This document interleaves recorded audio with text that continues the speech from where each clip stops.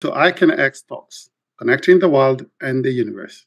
I am your host, Professor Martin Thuo, coming uh, to you from Eastern United States at North Carolina State University. This month, we have uh, had the privilege of having, hosting two young scientists and uh, Professor Feng. And today we are very privileged to have uh, Professor Sarah Bals from uh, Belgium. Next week, we'll be uh, hosting Professor Kim from University of Tokyo. For today, I will be joined by uh, Alice, uh, Professor uh, Dr. Hu, and Dr. Key, who will be our panelists. Uh, our speaker today is an expert in um, electron um, uh, tomography. Uh, she was born in, in, Belgium and studied physics at the University of Antwerp, where she still is, from 1995 to 1999 and then she got her PhD in 2003. And after that, she uh, hopped across the pond to UC Berkeley in the US, where her work now started focusing on development of electron uh, tomography for material science.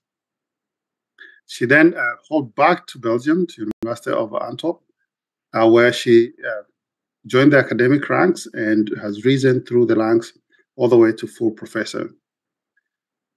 She's currently a spokesman for EMAT, consisting of seven principal uh, investigators and about 25 postdocs and 30 PhD students. It's a very, very big group. She's done a lot of excellent work, publishing very, very good journals. And uh, uh, Sarah is uh, very well known for uh, as an expert in application and development of electron tomography of functional nanomaterials and advancing this method to more like more realistic conditions for example, under heating, liquid, or gas, gas flow experiments.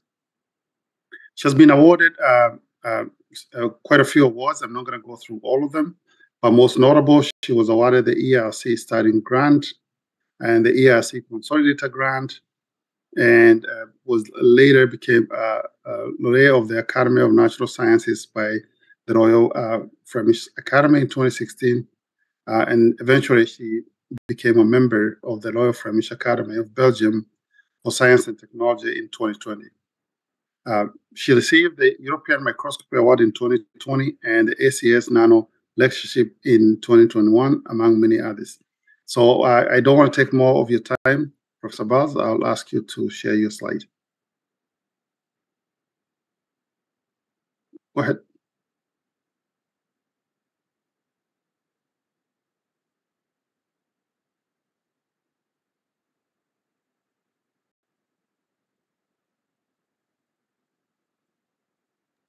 Uh, Sarah, you mute yourself.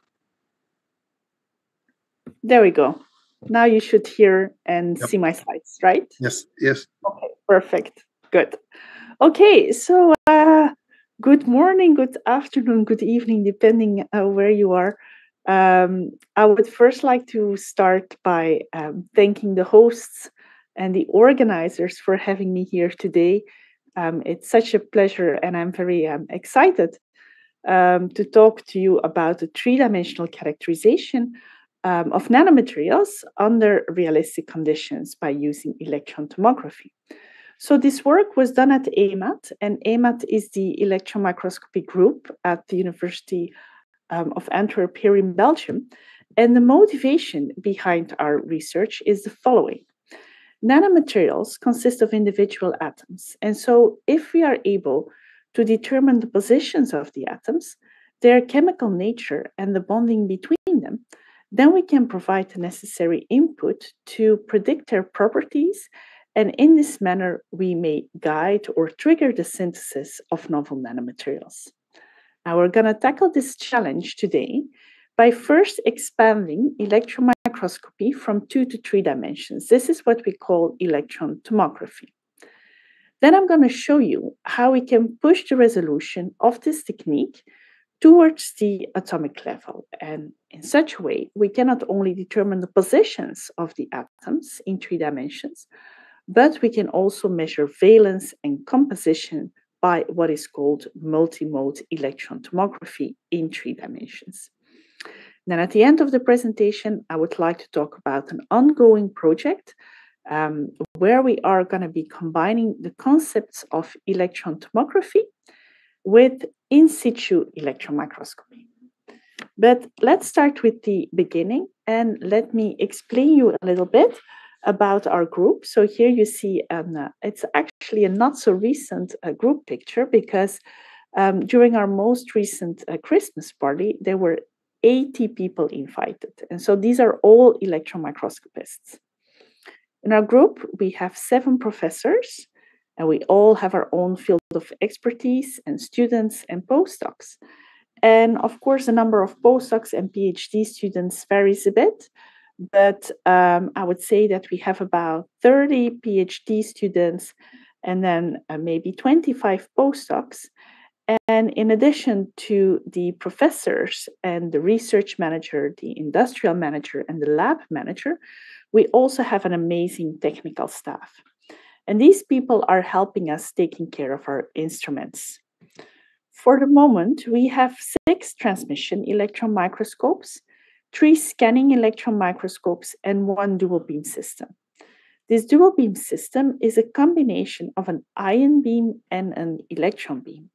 And using this instrument, we can prepare lamella such that they are thin enough to be transparent in the transmission electron microscope. This microscope that you see here, this picture, is showing you a, a relatively modern uh, microscope, but it is still what I would call a conventional microscope. And in order to illustrate that, I would like you to compare this picture here to this one.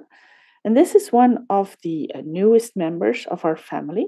It is an aberration corrected microscope, and later on in the presentation, you will see why these are so important if we are uh, thinking about high resolution three dimensional imaging of nanoparticles.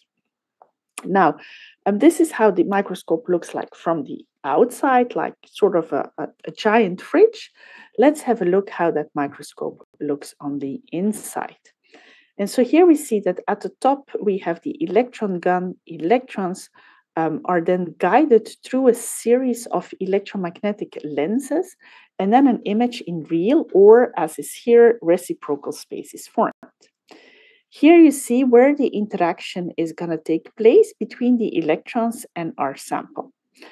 And now, when I am uh, talking to people and when I am saying that I am working in the field of transmission electron microscopy, people most of the time think about images such as this one here. And this is a very nice image. It's showing a precipitate in a matrix, and we can see the projections of the individual columns. But images such as this one here suggest that a transmission electron microscope is nothing else than a very, very good magnifying glass. And what I would like to show you today is that during the interaction between the electrons and the sample, there are many signals that are being generated. And some of those signals are presented here on this slide. You can see that there are backscattered electrons, secondary electrons, um, but also X rays, for example. And by um, aligning the microscope in specific ways and by using specific detectors, we can extract much more information than just a very large magnifying glass could do. A first example is illustrated here.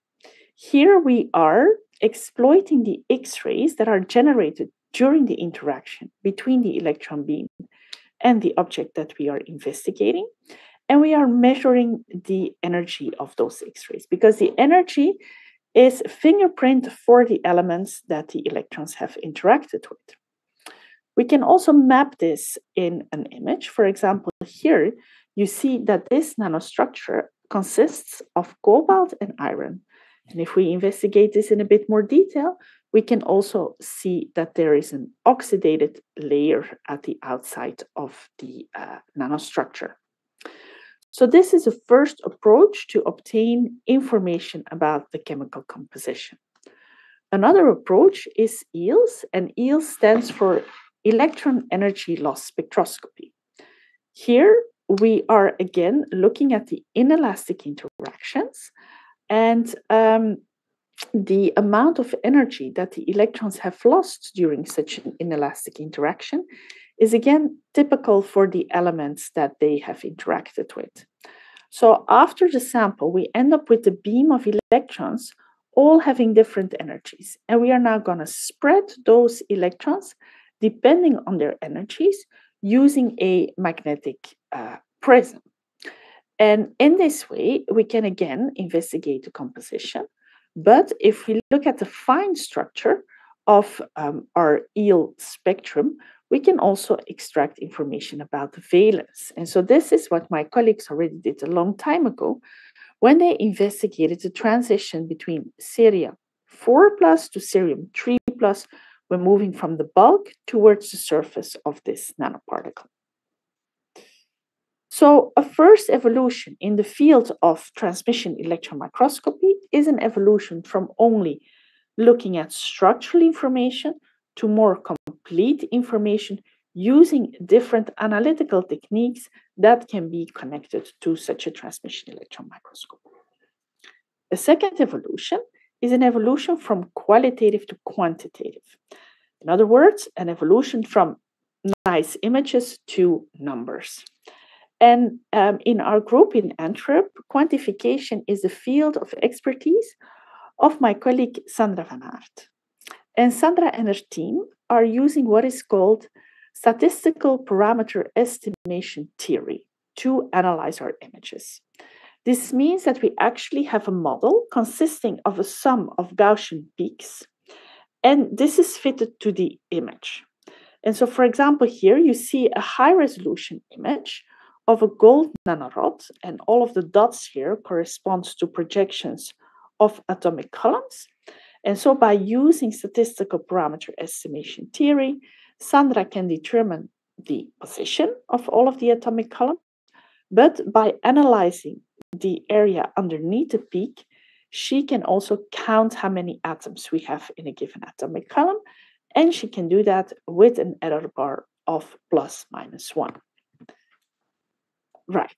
So when you see all of these um, results and possibilities of a transmission electron microscope, you might think, why is it even necessary to have three-dimensional information, and what is it that Sarah is doing there in Antwerp? Well, the answer to that question is given here. You see here a two-dimensional projection image of an unknown three-dimensional object. But I do not think that many of you could have guessed that the three dimensional object is, in fact, a pile of trash. So, the take home message of this presentation today is that a two dimensional projection of a three dimensional object can be very misleading. Now, this, of course, is a very extreme example, but it is a consideration that we have to bear in mind when analyzing any electron microscopy data. For example, here, this is a very old image. Somebody um, acquired it when I was still doing my PhD. So it's a gold nanoparticle. It's sitting on a magnesium oxide support, and we can see the projections of the individual atoms. But again, this is nothing else than a uh, two dimensional projection of an unknown three dimensional object. And if we want to investigate this nanoparticle in 3D, we need to use electron tomography. Now, the concept of electron tomography is based on tomography. And most of you have been in touch with tomography. For example, if you had had a medical um, examination.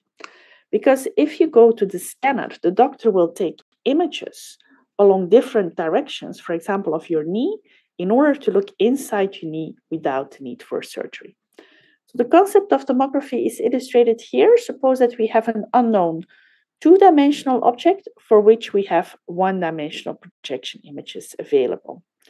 If we are now going to be using those one-dimensional projection images, and if we are going to reproject them along the original acquisition angles, then you see that if we have more projections, we get a better reconstruction of our unknown object, in this case, the logo of the University of Antwerp. Now, if we are doing electron tomography, then we are interested in the structure of nanomaterials. Um, and for example, this is um, a cadmium selenide nanostar. And so we're starting our experiment now by collecting two-dimensional projection images in the microscope We are not going to tilt that microscope around the sample. No, we're going to tilt the sample in a dedicated sample holder illustrated here. And we are going to collect images over a tilt range as broad as possible, and we collect images every other few degrees. This results in a tilt series of images, which we can then use as an input for a mathematical algorithm that enables us to obtain a three dimensional reconstruction of the morphology. But we can also look inside the nanoparticle, as is shown here through what is called orthoslices. Okay, so this is a concept of electron tomography. And um, now let's have a look what we can do with the electron uh, tomography approach. And over the years, we have applied the technique to a very broad range of materials. And I'm going to be showing you a few examples. I will start with an old example, and then we'll move to a newer example. So what you are seeing here is an assembly of nanoparticles. And these samples are made at the lab of Professor uh, Luis Liz-Marzán, uh, who will also give um, one of these talks I have seen uh, later on in uh, July. And uh, you will see his name appearing uh, many times in this presentation because we have a long-standing and very excellent um, collaboration on the three-dimensional investigation of nanoparticles. So this is an assembly of nanoparticles, and from such a two-dimensional projection image, it is very difficult to determine the number of particles or to determine interparticle distances. It is only after applying electron tomography that we can see how nicely these so-called gold nanodumbbells are stacked together as a three-dimensional puzzle. A more recent class of materials that Professor Luis Liz-Marzán and, and also Professor Kotov and I got interested in are these um, twisted or chiral metal nanoparticles. And here you again see a two-dimensional projection of such a particle. And again, you see the need for electron tomography, especially if you want to investigate the presence of a chiral morphology, because this is something that you really need to do in three dimensions. And again, once we apply electron tomography, we can see the nicely twisted structure. Um, and this is still a relatively easy structure, but if we move to more complex structures, such as this one here, you really need to perform the characterization in 3D. So this example here on the right is a gold nanorod, um, and the wrinkles that you see at the surface are um, showing a helical arrangement. Now, these two examples, and together with the uh, nano assembly, they already indicate the interest or the value of electron tomography to investigate nanostructures even if we are investigating um, the uh, materials with a spatial resolution at the nanometer level. However, for many years, it was the ultimate dream to also perform high resolution electron tomography and to really see individual atoms in 3D. And several groups have um, contributed to this. Here is my personal uh, journey in the field of high resolution electron tomography, on the left, you see an example of pure gold nanoparticles. This is um, more than 10 years ago. And we were super excited that um, we could reproduce the perfect lattice of a perfect gold, single crystalline gold nanorod. Now, of course, perfection is not the most um, interesting object to investigate. So, this is why we also um, continued and investigated these uh, nanodecahedra in the middle uh, where several defects are present. So let me go into this a little bit further because these nanodecahedra, they are very interesting also because they yield a very interesting strain distribution.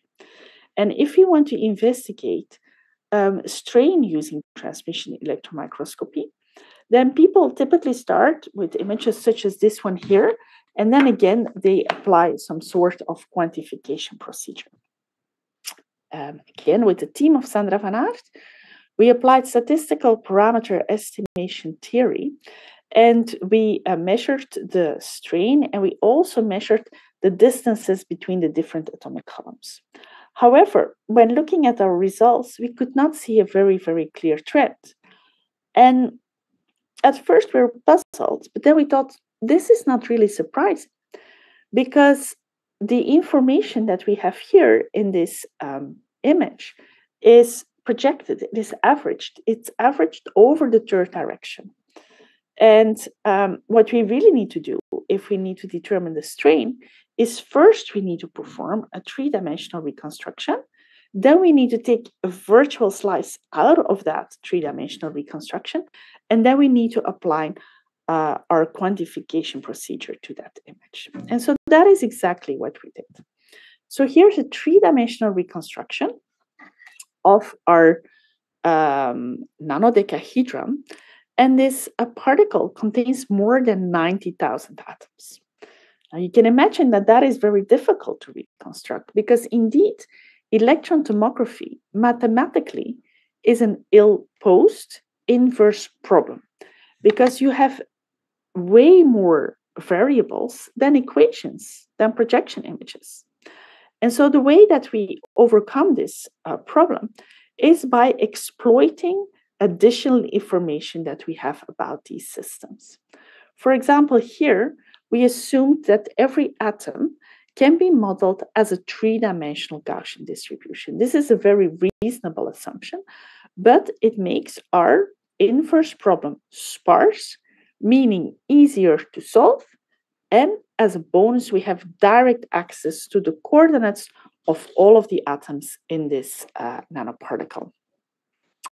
So once this is done, we can now, again, as I said, investigate uh, one of those segments of these uh, nanoparticles. And so again, we applied our quantification method, we measured the strain. And now you see that in contrast to what I showed you a few slides ago, we do have a significant trend where we see that there is an elongation of the um, interatomic distance. We're moving from the middle towards the surface of the nanoparticle. So this is surface relaxation. And also if we look along the direction of the original electron beam, we can see that the three two, uh, uh, two outer layers show an expansion. Um, uh, yes. Now, um, such prior information is not always available, and sometimes you want to avoid the prior information altogether. So what we recently did is we invested quite a lot in optimizing our acquisition. And if there is time during the discussion, we can talk about this. And so um, a most a recent example of this atomic resolution uh, tomography is shown here, where we investigated, again, gold nanorods, but now these gold nanorods are welded together because of femtosecond laser irradiation. And using electron tomography, we investigated the different configurations that are formed. Um, and then we decided to focus um, on one where the uh, nanorods are welded together like tip to tip.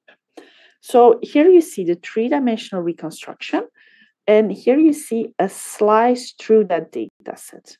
Now, every atom here corresponds to every white dot here corresponds to a single atom. By carefully inspecting this um, uh, image, we could pick up two dislocations. Now, that is already, I think, pretty cool that using electron tomography, one can see individual defects. But in this case here, we went even a little bit further and we looked into the uh, plasmon modes. Now, there are different plasmon modes, but I want to focus here on the CTP plasmon mode. CTP stands for charge transfer plasmon. And this basically says how well can the uh, uh, electrons move from one side to the other. Okay, what is now interesting to note is that if we have a pristine, if we have a single crystalline nanorod with an aspect ratio uh, uh as shown on the left here, and we compare that to a system where two nanorods are welded together, but where the overall system has the same aspect ratio, um, and where likely defects are formed, we can see that for this welded structure, the peak is significantly broadened, and that will have an influence on the physical properties.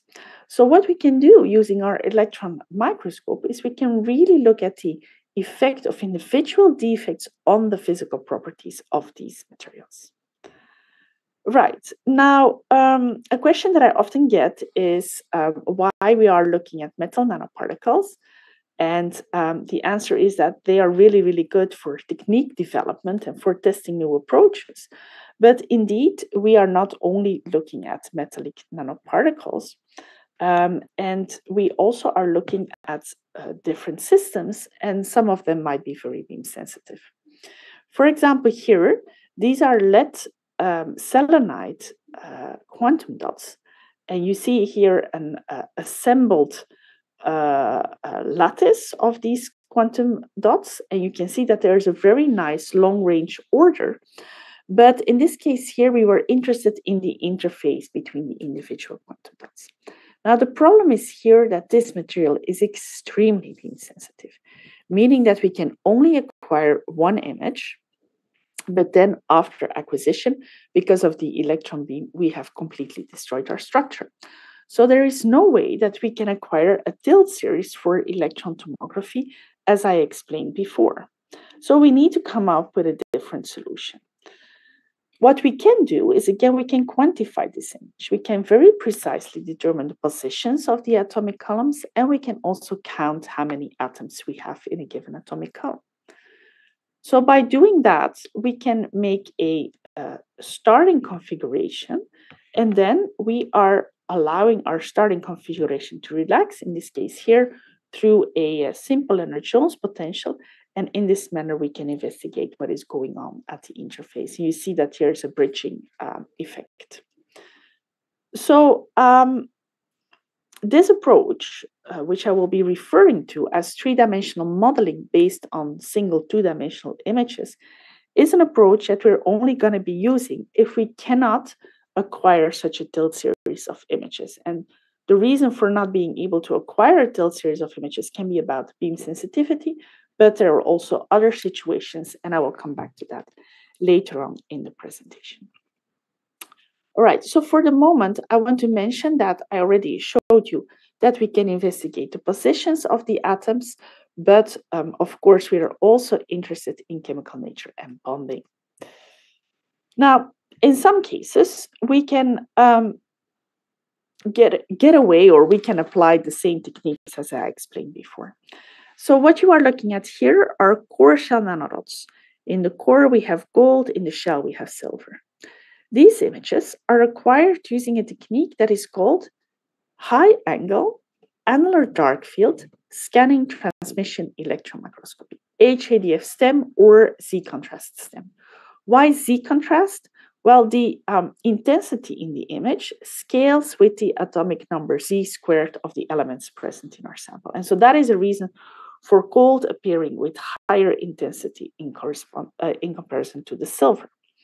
Now, by combining high resolution images of uh, these particles, we can use in a similar way as before our reconstruction algorithms, and we can obtain a three dimensional reconstruction of the silver and the gold. We can also look at the interface in a little bit more detail. We can analyze the intensities, and this enables us to sort of color code our image where is silver, where is gold. And in this manner, we could um, determine the crystallographic facets at the interface between the core and the shell. Now, not going to say that um, this was an easy investigation, but it is true that um, gold and silver are far away from each other in the periodic table, so there will be good contrast between them. And in addition to that, the interface between the gold and the or the core and the shell was really sharp. If we have elements closer to each other in the periodic table, or if we have situations where alloying is present, we will need to look for alternatives. Now, one of those alternatives is EDX tomography. EDX is not new. I explained it to you in the beginning of the presentation. And also, EDX tomography is not new. However, for many years, these experiments they were uh, limited because a typical EDX detector would be sitting here. I don't know if you can see my hands, and here is the holder. And now for electron tomography, we need to tilt away at a given point from that detector because we need to acquire the tilt series. And the detector cannot detect any signal anymore. So a breakthrough came with the development of a new uh, a generation of detectors where several detectors would be placed symmetrically around um, the material we need to investigate. And in this manner, there will always be a detector picking up that signal. Um, so here's an example of that. This is again this cobalt iron oxide uh, nanomaterial that I showed you in the beginning. And uh, cobalt and iron are next to each other in the periodic table. So if we are using our Z contrast STEM technique, we would not be seeing any contrast between the different elements. And that is illustrated here on the left in yellow. So this is how that reconstruction would look like. If we now are going to take EDX maps as our tilt series, then we can have a three-dimensional characterization of the chemical composition. And we could see, for example, that the iron cubes have completely overgrown uh, the cobalt rods. Here's another example where we investigated a galvanic replacement um, process and where we could also, in addition to visualizing the morphological changes, investigate the chemical changes in this uh, material. You may wonder, um, oh, right, yes, what I wanted to mention is that if you really want to quantify this image, um, then you need to be careful um, a little bit. And there are several approaches or protocols out there how to do that. This is how we tackled it um, in Antwerp, and we are combining an EDX tomography dataset and a Z contrast uh, tomography dataset. Right. What I wanted to mention is that these are also results that I showed you in the beginning, um, these EELS results, and you may wonder if we are also able to um, extend these into 3D. The answer is yes. And in fact, this here is a four dimensional dataset. Because in this animation, every voxel, a voxel is a three dimensional pixel, now contains a full EEL spectrum. And this spectra we can fit to reference spectra and in this manner, we can um, uh, again locate a cerium 3 plus and cerium 4 plus. And it is now interesting to note that if we have a purely octahedral particle, that the cerium 3 plus layer has equal thickness all the way around. Whereas if we have a truncated uh, octahedra, that is uh, one zero, uh, zero facet here at the bottom has a thicker cerium 3 plus content.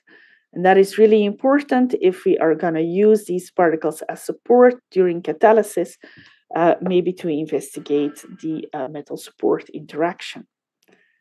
Another application of the EELS tomography is presented here. This is a uh, iron oxide nanostar, and by applying EELS tomography, we could reveal a core shell structure where we have iron 2 plus in the middle and iron 3 plus in the shell.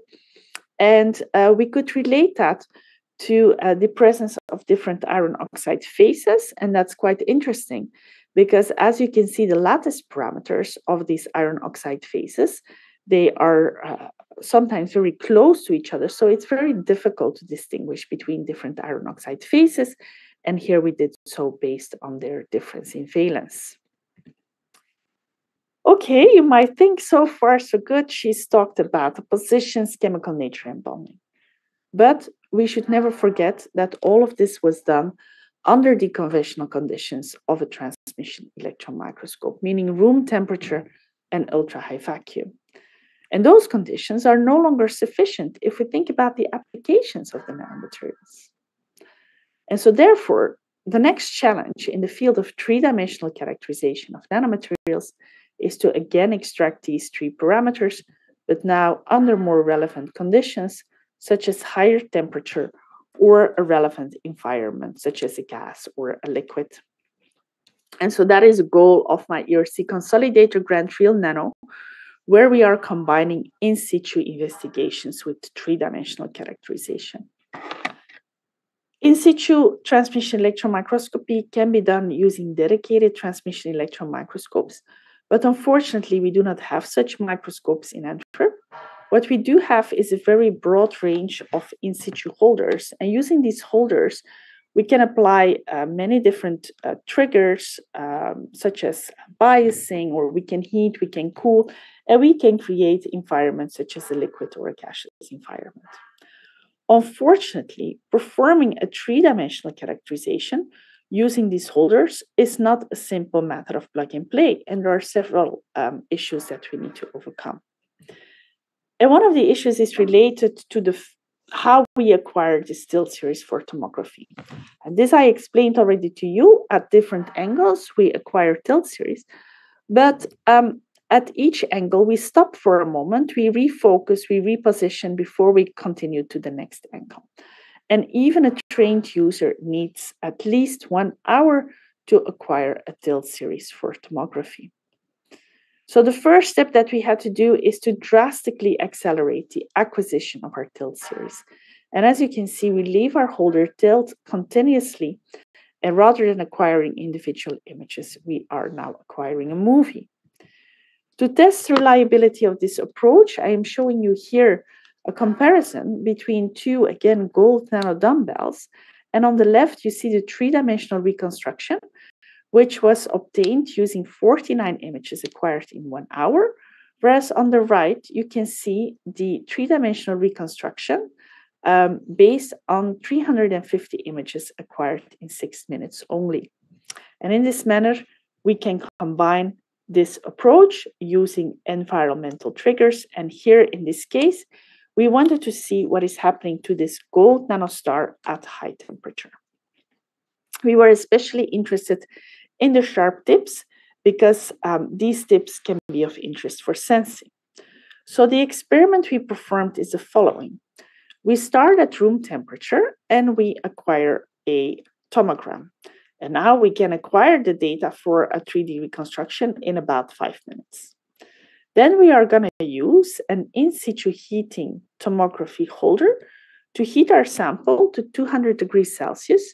And then we keep it there at high temperature uh, for 30 seconds. Then we quench and then we acquire another fast tomogram.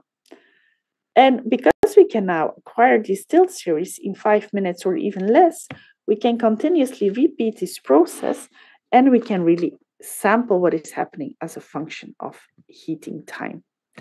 And what is happening is clear. You can see that the sharp tips are disappearing, and that will certainly influence their physical properties. We can repeat this process also at 300 degrees. You can see that the sharp tips are disappearing even faster. And um, we can also go ahead and now quantify all of this. You can see here in red where volume is disappearing and in green where volume is growing. And in these graphs here, you can see the redistributed volume as a function of time. And then you will see that most of the changes happen in the first minute, minute and a half or so. Um, keeping this in mind, we also performed another investigation where we looked at gold palladium octapods. And um, now we're going to be looking at one and the same nanostructure, but at different heating temperatures. So we again start at room temperature and we acquire a 3D reconstruction. Then we're going to heat the sample to 200 degrees Celsius. We keep it there for about two minutes because then we know most of the changes that would have occurred at a given temperature have occurred. Then we're going to quench. We acquire another fast um, tilt series. Then we're going to go to 250 degrees. Keep it there two minutes, quench, acquire fast tilt series. And again, we can now uh, repeat this process over and over again. And again, see that if we go higher, that the sharp tips here will be disappearing, they will become blunt. And again, that will influence their physical properties. And this is something that is illustrated here, where we have investigated uh, plasmon maps, um, and where you see that the intensity in these plasmon maps is going to decrease um, not surprisingly, if these sharp tips become blunt. We also compare these results to the thermal stability of pure gold octapods, and the results are shown here in the blue and the red graph. And you see that for pure gold, that uh, the thermal instability is much worse in comparison to gold palladium. So the palladium is really adding to the thermal stability of these nanostructures. Now, these are bimetallic nanoparticles, and that made us wonder can we also investigate changes in the composition? Because I showed you these uh, uh, images earlier, And now it's interesting to note that the optical properties can be tuned by changing the shape and the aspect ratio, but also by changing the shell thickness. So it is important to understand whether this core shell structure is going to remain at high temperatures. Now, unfortunately, the answer is no, because very easily you can see that a fully alloyed structure is formed. But then we decided to investigate this in a little bit more detail. And the way that we did that is the following. In panel A, you see a slice through a three-dimensional reconstruction of a core shell structure at room temperature. We can clearly distinguish the core and the shell from each other. If we look at the distribution of the voxel intensity, we can see two peaks, one for gold and one for silver. Now, if we keep on tracking the same nanoparticle while heating and doing the three-dimensional characterization, then it is a fair assumption to say that a pixel is always going to be a linear combination of these original intensities. And so this is how we, for every 3D reconstruction that we do, we can uh, quantify the image intensities and we can follow the alloying process.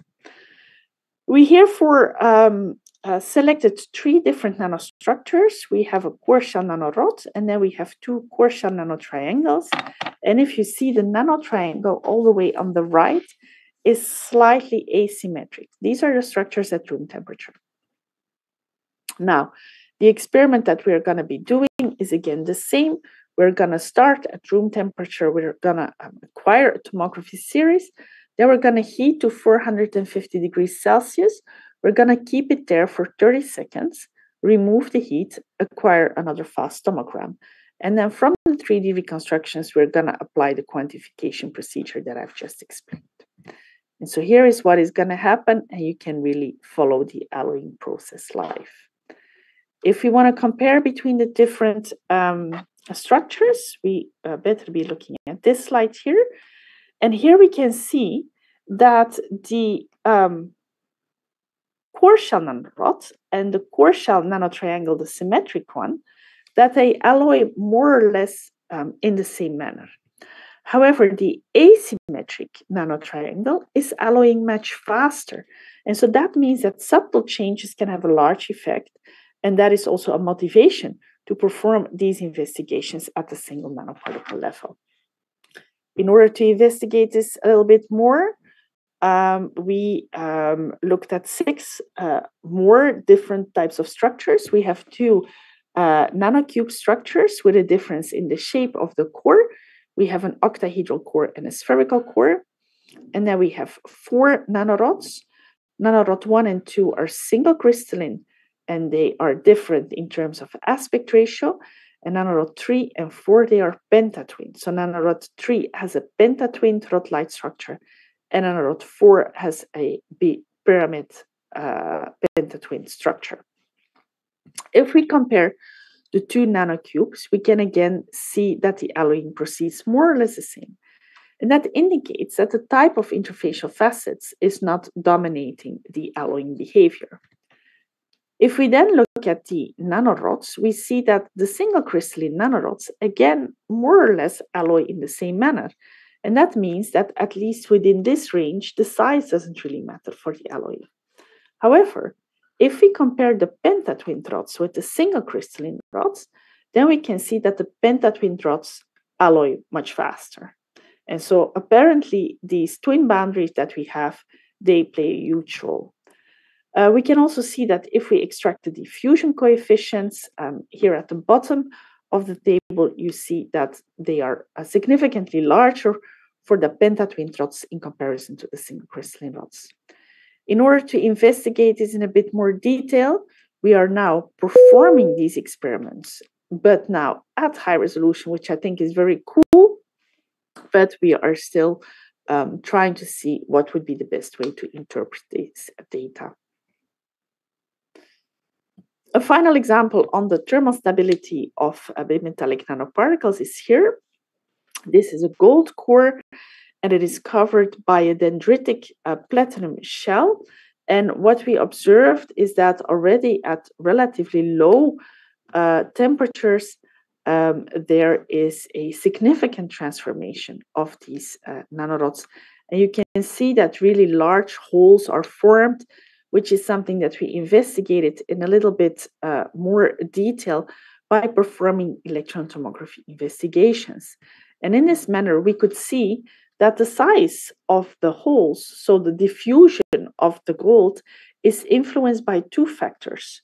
First, the coverage of the platinum, and second, the length of these uh, platinum spikes. Now, because we could not perform all these um, experiments with different parameters, we decided to perform some molecular dynamic simulations. And after a validation of our simulations with our experiments, we could then vary the uh, thickness of the platinum shell and the surface coverage of the shell as two independent parameters. And we could every time calculate the uh, gold uh, diffusion. And so in red, you have a lot of diffusion, and in blue, you have a little diffusion. And in this manner, we can prevent we can propose guiding rules to people performing the synthesis of these nanoparticles if they want to have thermally stable um, particles. Now, um, all of these um, uh, experiments were done using a fast acquisition of our data sets. Um, and we started to wonder would we also be able to speed up the reconstruction? Because this how we conventionally do the reconstruction. We acquire the tilt series, we obtain our 3D reconstruction, and then we're again going to go and take slices through our 3D reconstruction. And so we thought, isn't that a little bit odd? And can we not just go directly from our tilt series to our slices through the reconstruction? And that is exactly what we do in what is called the recast 3D software. And an uh, animation is shown here. So, what Recast 3D does is you can um, uh, compute uh, arbitrary slices through a volume um, in 60 milliseconds. And this means that, sort of on the fly, you can determine which the slice would be that you want to compute. And if you now play with the transparency of the background, you can obtain a quasi three dimensional image. And I feel this is very useful because while you're at the microscope during your experiment, you can optimize the um, acquisition parameters or uh, determine which particle it is that you further want to investigate because of this fast reconstruction algorithm. And so um, this is, um, I will uh, share the uh, link with you once more because this is open source uh, uh software which is available on, on GitHub. So I all invite you to have a look at that. Okay, so I started by saying that we can use these holders as a sort of nanolab uh, but all of the results on the heating have been obtained using a tomography heating holder. Now, not all holders have this large tilt range for electron tomography, and sometimes the changes that are occurring for these nanoparticles are too fast to be captured, even with the fast tomography. And this is where, again, I would want to go back to the three dimensional modeling based on the two dimensional images. Um, this is a gold nanoparticle. It's sitting on ceria, and we're going to be looking at the thermal stability. But first, how to um, obtain a three dimensional reconstruction if the changes are really happening on a time scale that is much shorter than the five minutes. Well, again, we count the number of um, atoms in a given atomic column, and we use that as an input for molecular dynamic simulations. And in this manner, we obtain a three dimensional model. So, this is what we used to investigate the differences between the structure at room temperature and high temperature. And for the nanoparticle on the left and in the middle, you can see that the shape of the surface facet changes. But if we look at the coordination number, you cannot see so much difference. So thermally, these particles are stable.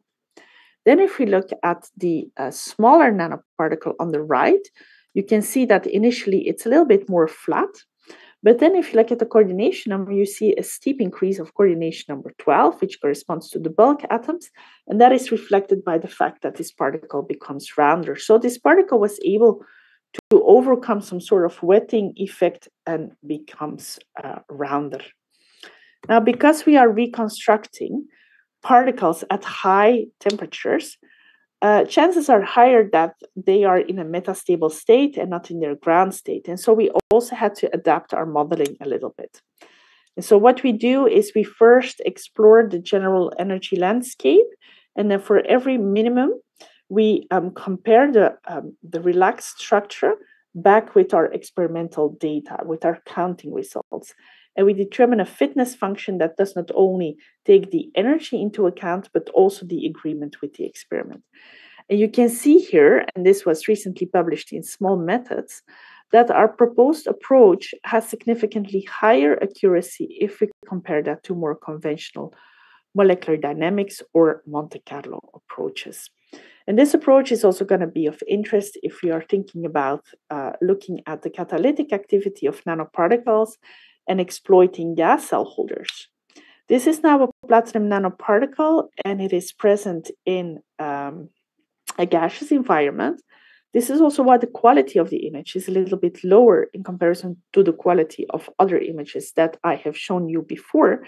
And this is normal. Think about driving in the fog, you also don't see very well. So what we do here is we acquire a time series of images, we average them with respect to each other such that the quality is good enough to um, count number of atoms in every of the atomic columns. And then again, we use that as an input for molecular dynamic simulation. And now you see that one and the same nanoparticle can look quite different in vacuum or in hydrogen or in oxygen.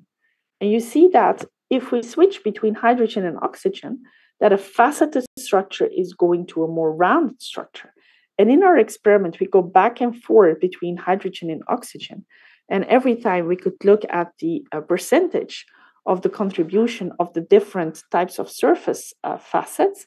And we could see, for example, that the um, contribution of the higher order facets already after the second cycle is going down. That is very interesting if eventually uh, one wants to perform these investigations under catalytic um, uh, environments. For example, here we are looking into CO uh, oxidation, and we can also couple these experiments using a mass spectrometer connected then to our gas cell holder. A last example, and I just wanted to show this example because uh, not all triggers can easily be brought into the microscope. And so, for example, again, this laser irradiation is something that is not very straightforward to bring into the microscope. We found a way to go around that. And um, here you see an atomic resolution tomography reconstruction of a gold nanoparticle. And then what uh, Wiebke Albrecht, who did all this work, did is she took the sample out, irradiated with a laser, put the sample back in. Out of all of those nanoparticles on the grid, she found back the same nanoparticle and again performed an atomic uh, resolution tomography tilt series. What we see is that the aspect ratio has significantly changed, but we also see both in real space and reciprocal space the presence of defects. Now, we now have the before and after, but we don't know what is happening in between. And so what we did is we again use these results as an input for modeling. And what we can do now is based on our atomic resolution tomography reconstruction, we can build a model that is more realistic than an average model. It doesn't have the same size, but it does have the same aspect ratio and it does have the same contribution of the surface facets. Then, by modeling the laser pulse, we could relax the structure at different uh, temperatures, and we could again, we could indeed reproduce the change of the aspect ratio, but also reproduce the presence of these defects. And in this manner, we could understand the underlying mechanism, and we could reveal that because of the um, intense uh, uh, heating of this nanorod, strain was formed, and in order to release the strain, these um, grain boundaries were um, formed. And it's important to note that if we would not have used the outcome of our atomic resolution tomography to build our model, but if we would have used a more Wulff like reconstruction model, that there would have been an error of 10%. That brings me to the conclusions of this talk. I have shown you that um, using electron tomography, we are able to determine the positions of the atoms their chemical nature, um, the bonding between them. And as an outlook, um, I've also shown you that we are able to um, track heat induced changes in morphology, but also in composition in three dimensions, and that we can investigate the 3D dynamics of nanoparticles in a gaseous environment. I would really like to thank the entire team in Antwerp because these experiments are getting increasingly more complex, and you really need a team of people to perform the experiments, but also to analyze and interpret the experiments. If you want to be part of our team, please visit our website.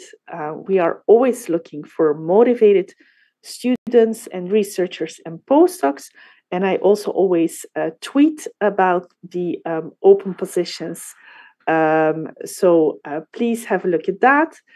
Um, I would also, from the bottom of my heart, like to thank all of the people providing us with such nice uh, samples and challenging us with um, their questions and uh, pushing us forward into further um, technique development. And I would once more like to thank um, the organization and the host for having me here. And I would like to thank you for your attention.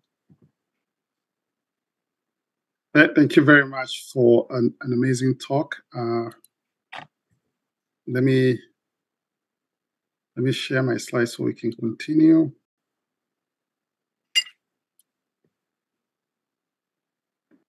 All right, uh, so thank you very much. Uh, I think at this point, uh, I will move to our introduce our panelists. Our first panelist uh, is uh, Professor Hu. Professor Hu and his BS and MS degrees from Wuhan University, and uh, then went to uh, Belgium for a PhD. He then came back to China as in now a professor at uh, State Key Laboratory of Advanced Technology for Material Synthesis and Processing at uh, Wuhan University. His research is aimed at advanced electron microscopy for energy materials, beam sensitive materials, and in situ TEM. He has called many, many papers in very prestigious journals. So, welcome, uh, Professor Hu. Uh, we are delighted to have you here. Our next panelist uh, is also professor in, in, the University, of Beijing University of Technology, Professor Qi. Uh, she got a bachelor's in material science and engineering from Zhejiang University, then went to uh, get a PhD in physics from University of Antwerp in Belgium, and then uh, she did a postdoc at EMAT, and then uh, she moved back to China uh, in the Institute of um, so in a, to Beijing University of Technology in, in China, uh, where she's a professor. Uh, research interest mainly focuses on microstructure analysis uh, on energy materials using advanced TEM, including in situ TEM and 3D electron tomography. Uh, she's also a committee member uh, uh, for the Youth Committee of Chinese Material Research Society and serves in as the editorial board of several journals and has been also been a guest editor on several special issues on in situ and in operando characterization of semiconductor materials. She's very well published in this area, so welcome uh, to the panel, Professor Qi. And of course, uh, the, the last, uh, last but not least is somebody who doesn't need introduction in this forum, uh, Professor Alice. Thank you so much for joining us today. We are delighted to have you here and to uh, actually join us on as we celebrate three years of iCANX. Uh, what a brilliant idea, and we're all delighted to uh, be joining you on this panel. So we can shift now to the panel.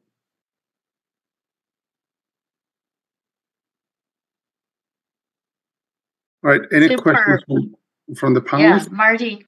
Yeah. Uh, maybe we, yeah, I have a question for Sara. Yeah, very nice talk, but uh, it is uh, amazing, you know, for all these results. But also something was out of, uh, you know, my imagination. For especially the last part, you uh, give some examples for the morphology in different uh, gas, right? The environment. So it shows different, but uh, in my mind, it's, it's really something special because I think they should be the same morphology. So, did you have some uh, kind of explanation for this? Why in different gas they are shown different? Yes, uh, that's a very good question. Thank you. So I guess it has to do with the absorption energy of the molecules on specific facets. Um, and so that is something that we are now investigating and trying to interpret and seeing uh, what is happening. So I can imagine that um, if you have uh, different lattice spacings, that it will be easier for given molecules to to absorb yes or no. So I think that is basically what is going on there. Okay, that's it related, you know, with the you know the concentration about all these gas, if different, you know, the concentration, the densities like this. Yeah, does it. I think the concentration you know, in this case was actually the same both for the hydrogen and the oxygen. Um, but um, yeah, I think it's due to the interaction between the the the platinum surface and the given type of molecule. Mm-hmm. Okay, yeah. So that's that's something you know here need to understand. Okay, thank you. That's my first question. Also, yeah, maybe for others. Uh, maybe I can comment on that, Alice. Uh, I think, uh, Sara, I, I, have to say, I was also very fascinated to see that because I've been working on uh, metals as a non-metallurgist, and a few years ago we saw some uh, huge impact of surface, uh, the surface environment and we went back to the traditional Hume-Rothery rules of solid solutions. And we, we actually came to understand that it has something to do with uh, uh, cohesive energy density. When you change the environment of the metal, the, met- the bulk responds to the environment through the nature of interactions you have. And it turns out actually the, there was a paper in 1999 in JACS done by uh, Duane Johnson and Ralph Nuzzo, the University of Illinois, where they were working on this reconstruction. And it fascinated a lot of people what was going on with these nanoparticles, that it, it, there's atomic diffusion to create a new surface. And that um, behavior is actually trying to minimize the surface energy uh, or due to the interaction of the new gases. When you move exactly. to hydrogen, it's non-polar. When you go to oxygen, it's polar. So you create a huge interfacial stress. That interfacial stress affects the bulk. Yeah. And our work was more on looking at thermodynamic relaxation, uh, and we found out that the, the, the interfacial energy was playing a huge role, whether a material remains a liquid or a solid. So it's, it's fascinating to see we are in a completely different field. I wish I had seen your work when I was writing it would have made my reviews much better. But you bet we're going to be uh, uh, talking about that quite a bit. So thank you very much. You're welcome. It is yeah. indeed something that is, I mean, has been observed using other techniques and also a lot using transmission electron microscopy in 2D. I think the piece of the puzzle that we brought is to really see it in three dimensions. Yep. And you can switch it. The switch. Yeah. yes, indeed. That's quite nice. Yes. Yeah. Very good. Other panelists? Sara? Yeah. Yep. Uh, thank you, Sara. You give us a very nice lecture about 3D imaging and the electrotomography. I've learned a lot again. Uh, the electrotomography can give us a lot of information about nanomaterials such as the uh, precise and the real inner structure structure change with times, uh, elemental or valence spatial distribution, even counter atoms. So uh, what else electron tomography can do in the future or in your next step? Yeah, so I would really like to do electron tomography also in a liquid. Um, for example, if you think about these assemblies of nanoparticles, if we deposit them on a normal TEM grid, uh, what is going to happen is because of drying effects, the structure is going to change a little bit. The structure is going to shrink a little bit. Um, and I want to understand how much that is and if we can overcome that using liquid holders there, of course, you will have the um, additional complication that, in addition to the rotation of your tilt axis, that also your particles might be rotating um, in a liquid. And there has been some beautiful work um, already done um, about particles, for example, in a liquid uh, cell or in a liquid pocket, platinum nanoparticles that rotate by themselves, and where people have reconstructed the three dimensional um, lattice at the atomic scale. I'm really interested in seeing what is happening to um, larger systems, assemblies of nanoparticles. So that is something that I would um, really like to do. I would also really like to go beyond this, what I would call stop and go. Now we heat a sample, we cool it down, we do the tomography, we heat, we wait, cool it down, do that in one go. So that's also something um, that we are uh, working on. And then, of course, I'm super excited about all of the measurements for helical uh, nanoparticles because those are things that um, uh, it's very difficult to do based on two-dimensional projection image. For example, with an SEM, you can see something about um, the morphology. Um, but if the systems become more and more complex and, and smaller and, and, and smaller details, we are back with the transmission electron microscope. So you see there's still a lot uh, to explore. Yeah, if, if you combine, if you, for example, the first thing, if you want to combine the liquid in situ uh, work with tomography, I think that's very big challenge. Uh, I also believe that tomography can do a lot of things and get more information of materials, but every technique has its limitation. So what are the limitations of electron tomography? Um, well, of course, the limitation is that it is a very um, a time-consuming technique. Uh, we are we are saying now that we have reduced the acquisition from one hour to five minutes, so that's a first step. But um, then the reconstruction itself and the interpretation and everything, so it's not a high throughput technique. Um, so we are working on ways to overcome that and to maybe find a good compromise between SEM imaging and a TEM to extract information about uh, morphologies and, and maybe to combine those things. So that is quite interesting. Um, but I would say the largest limitation of electron tomography at the moment is that it is a very time consuming technique in comparison to other electron microscopy techniques. Yeah, thank you. That's my question. Martin? Thank you. Yep. Yeah, thank you, Sara. Thank you. Uh, it's always very nice to hear Sara's talk. It's not my first time, but I mean, I'm always been uh, impressed, as always. Um, yeah, uh, actually, also following uh, G's questions, I also have some um, uh, questions, I would say. Uh, for instance, because you have demonstrated, uh, for instance, the multimodal and also the uh, combined with the, uh, for instance, EDX and EELS and all these uh, different acquisition techniques. Um, but for instance, what is your opinion on, or what is, how do you see the development of these emerging techniques? for instance, the IDPC and or or related acquisition techniques and how do how would they be combined together with electron tomography? Is it possible? Right very good question.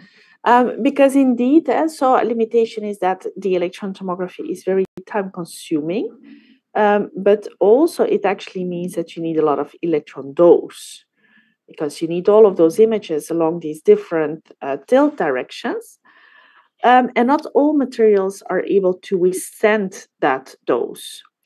For example, if we think about uh, metal organic frameworks or zeolites or polymers, so those are all very challenging materials to be investigating using a technique that needs such a high amount of dose. So, as uh, Professor correctly indicates, there are now many new techniques that we can use to use the electrons delivered to a sample in a much more efficient manner. And one of those techniques is IDPC, or in general, 4D STEM techniques. And with 4D STEM, we're going to collect an, a diffraction pattern at every position. And in that diffraction pattern, we're going to be looking at the center of mass. And we're going to be interpreting small changes of that center of mass. And those are a signature of the electrostatic potential.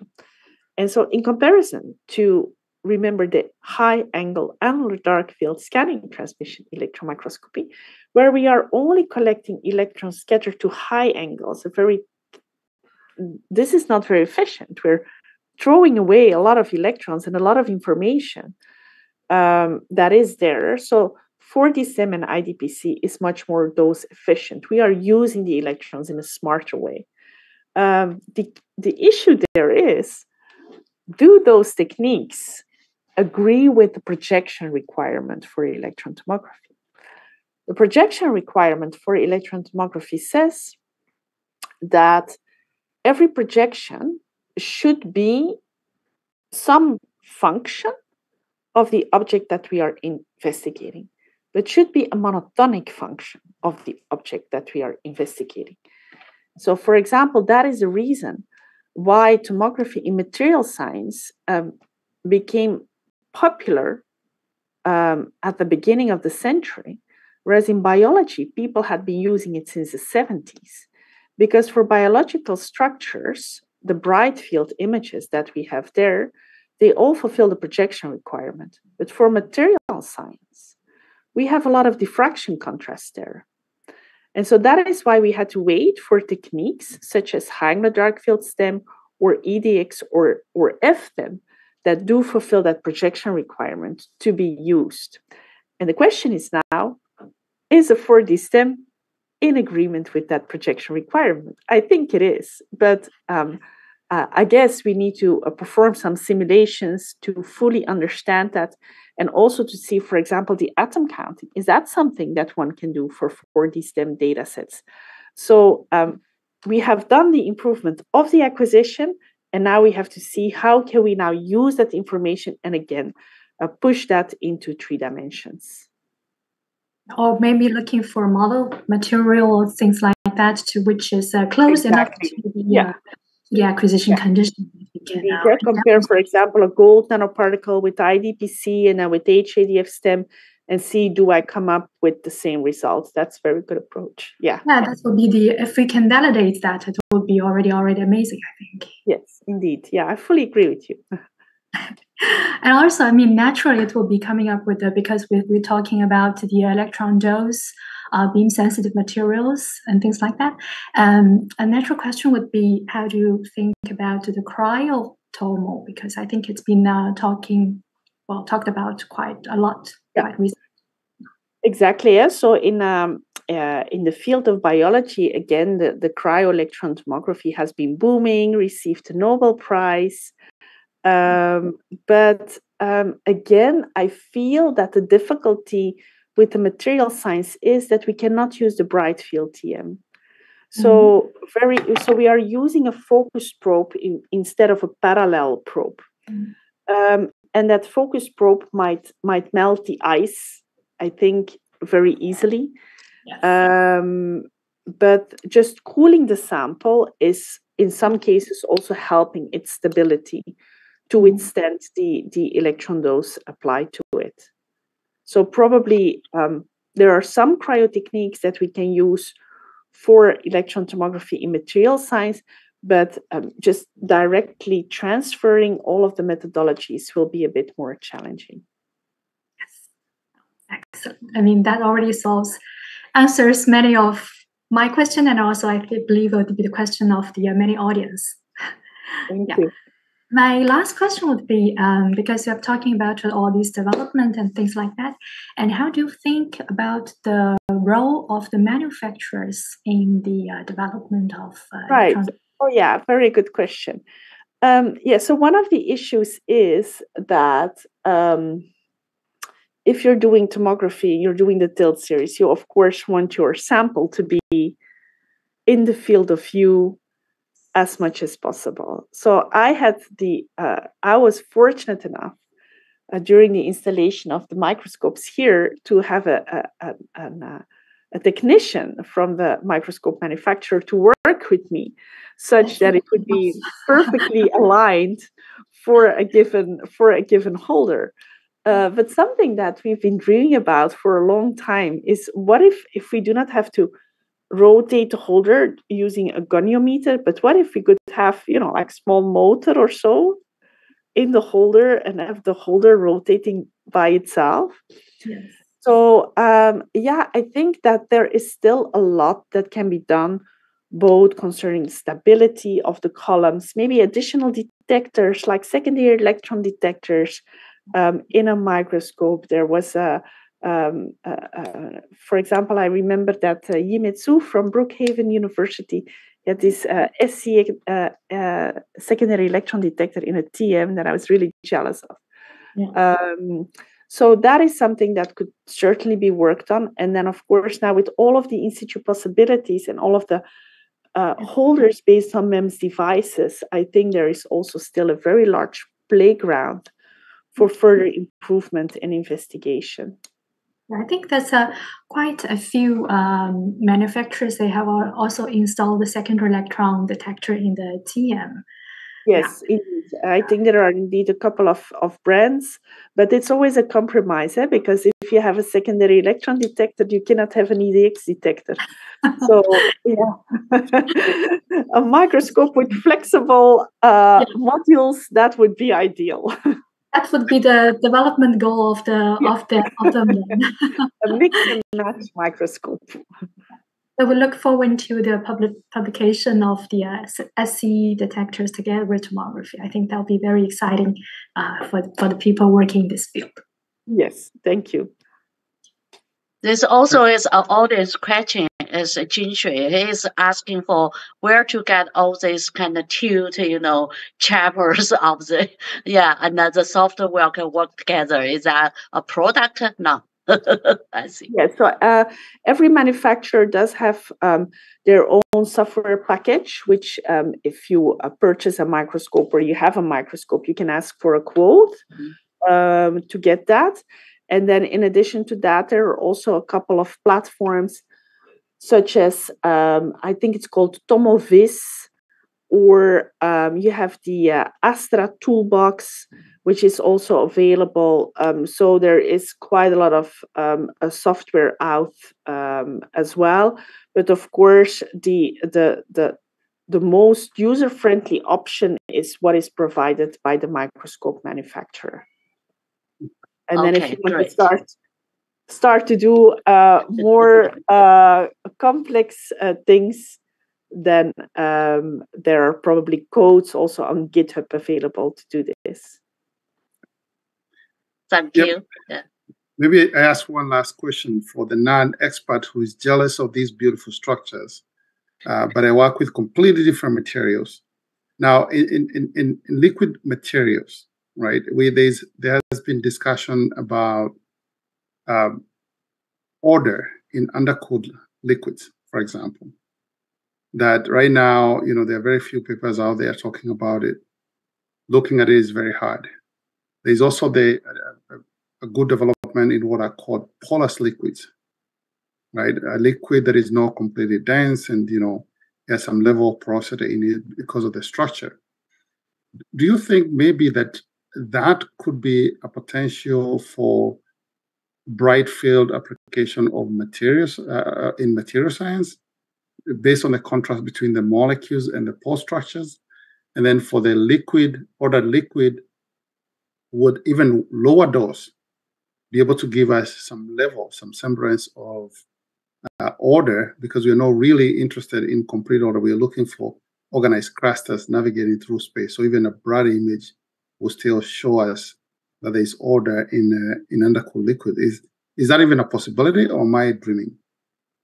So bright field EM was used again in the beginning of the century to look at porous materials. Mm-hmm. Because porous materials by themselves they do not scatter so much, so that that would be fine. The contrast between a molecule and a pore, I think, in bright field is not going to be that big. Very high. So mm. you do need a significant contrast difference in order to to see something. And now for liquids, I mean, liquids are quite complicated because bubbles are formed and things are changing, and your reconstruction algorithm just assumes that it's always looking at the same thing, just from different angles, right? And I also think that the interaction of the electrons with your liquid might completely change the uh, properties of the liquids. Mm-hmm. Uh, so I would feel safer looking at particles in a liquid rather than liquids itself. I think that is currently still too difficult. Well, it's a challenge for the young people who are, uh, who are interested in the field. Exactly. Uh, exactly. For those who are listening up there, think about how you can see order in liquids, and uh, there's a whole lot waiting, especially from a thermodynamics point of view. If you want to understand material relaxation, knowing that order is critical. It tells mm-hmm. so much. Yeah. Anyway, any other question from the panel? All right. I also want to say today is very, very special because uh, iCANX started uh, during the the pandemic when we were all shut down and everybody was isolated from each other and we started talking to each other through this platform keeping the science alive. And so sara we're really really honored that as we look into three years you are our speaker. So thank you thank you very very much. It's an honor for me. it's it's very nice because we're talking about high resolution and pushing things beyond what we can see with our eyes. And iCANX has done for us. It, has, uh, it opened up that possibility that even though we shut we are shut down, even though we were closed up, even though we could not leave our houses and our uh, and our, uh, and our place of our apartments, we could still travel through the world and still enjoy fascinating science. Uh, and Aris, you're a genius. Yes. Oh, thank you so much to say that. Actually, really congratulations for everyone. You know, yeah, in last three years, we're really proud of our speakers. You know, yeah, we keep this iCANX platform was ongoing so well you know, everyone in the whole world, you no matter, I know many audience was in Africa, many audience was in Europe, many audience in different part of this world. So every Friday we met online to you know learn the most advanced you know technologies. Like sara today gave us such a you know amazing things. Yeah. Every friday we have such so many and new ideas coming in. So this really help a lot of people you know to keep the uh, eyes to see all these uh, wonderful things was happening. And uh, to know all these peoples you know was hard working on that. And uh, everyone there who was really care about science care about technology this is a place you know to meet online. Like martin said that you know uh, this really a great opportunity. Let everyone know that you know. Uh, even the reality sometimes is difficult but still something can be happened, right? Yeah, use these uh, innovations, everything new technology can make the things different. Yeah, I'm uh, so proud to say that, you know, in last uh, three years, we have uh, uh today, or we already have 581, you know, uh, VIP speakers, you know, panelists on this iCANX platform. They from uh, uh, uh 53, 50, uh, 56, you know, countries and regions. Yeah, we're really proud of that. You know, Martin, a lot of people, you know, are speakers, panelists, even from Africa, some place we never know. uh, yeah, they still done a lot of nice things. So yeah, this is really great. I want to use this uh, time to say thanks to all these speakers. Uh, thanks to all these panelists, you know, even the challenges, the young scientists, yeah, to make everything happen. And uh, my great partner, Paul Weiss, you know, Jagdish. Yeah. Uh, now it's full like Martin Mason and uh, uh, Chris. Yeah, everywhere in the world to make this happening. You know, every Friday, this really are not an easy job. it's not an easy job, you know, to get all these people to go together. Yeah, so proud of that and so proud of all these peoples.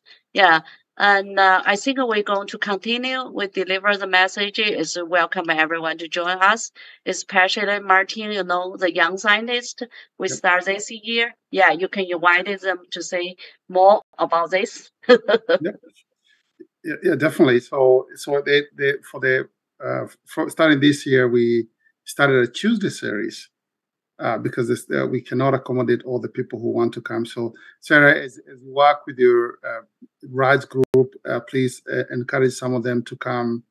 And uh, on the Tuesday mornings, we have a series for young and upcoming scientists. they don't have to have the depth and the broad scope of the talk like we have on the Fridays, but we're looking for to give uh, the young rising scientists a, a, chance to air out, to speak out, to interact, to engage, and to also help them uh, start recruiting uh, those who may be outside their field. And we feel that when we have a young scientist who can speak at uh, somebody who is emerging, they can speak to people who are looking in. Because uh, you know, when somebody is very established, the, the, the, the talks get elevated to such a level that is really groundbreaking. Like we see all these reconstructions and all the methods that are going on in every field, but for the young people, they can narrow it down a little bit and be specific to a certain technique. And and we would love to have more people there. And that's also another uh, platform that has uh, uh, been going pretty well.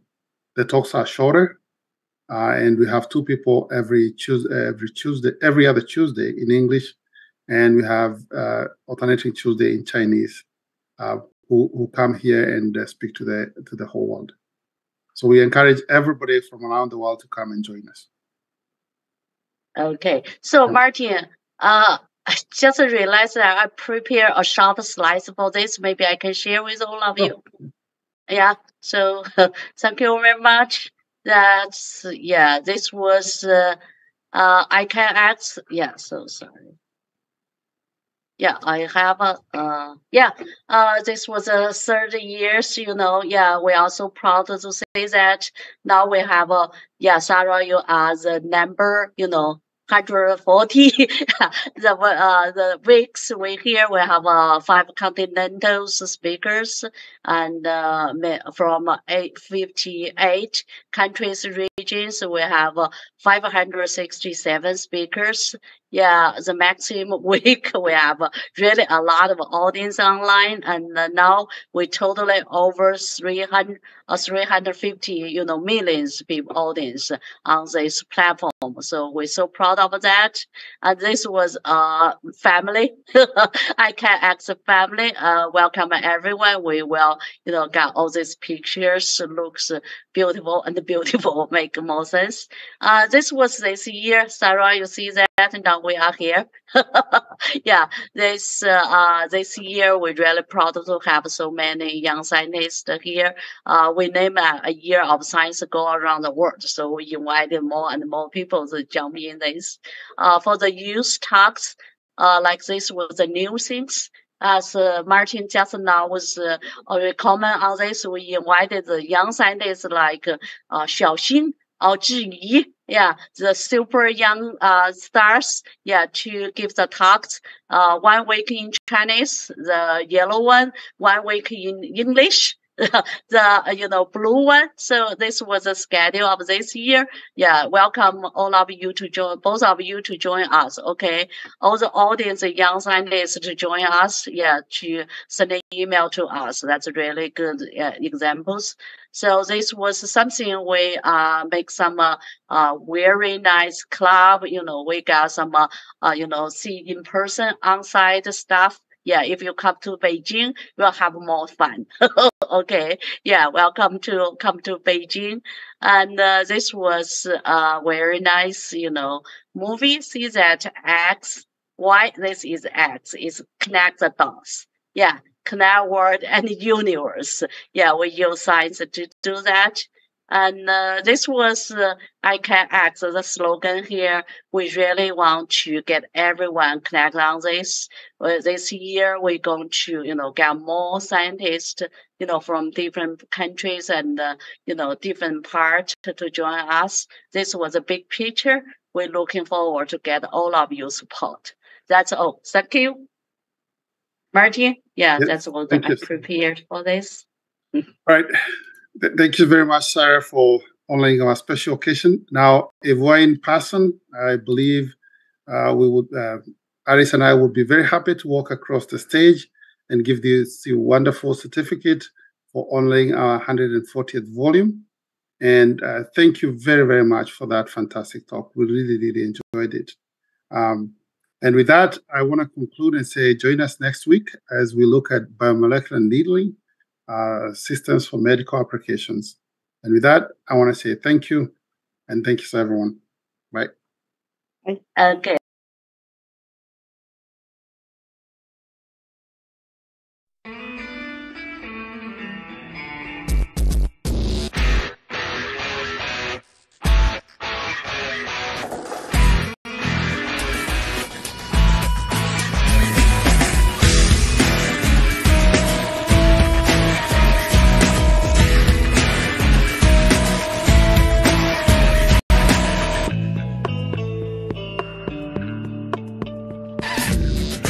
不再是奇迹，不再是幻想。此刻真感觉，全世界为我鼓掌。不必太在意身旁惊奇的目光，可以点点头，可以放声歌唱。我创造奇迹，我拥有梦想，我希望看见所有骄傲的脸庞。不再为曾经失败放弃或感伤，努力才是真的方向。I can, I can，没有什么可以阻挡心中无限的力量。I can, I can，你也能够像我一样飞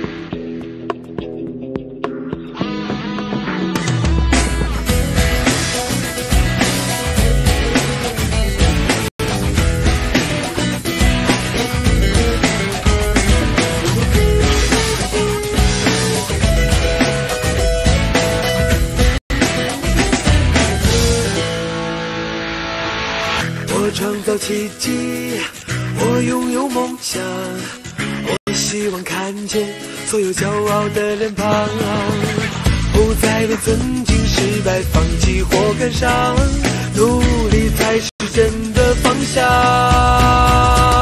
I can, I can，没有什么可以阻挡